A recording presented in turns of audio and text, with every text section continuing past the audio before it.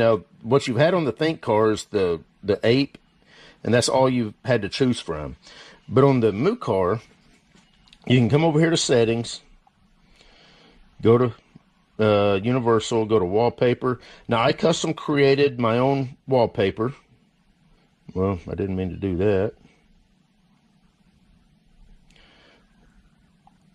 I'm going to click that, hit OK, and I've got a nice custom wallpaper. Um, I like the looks of it better. I like that darker background.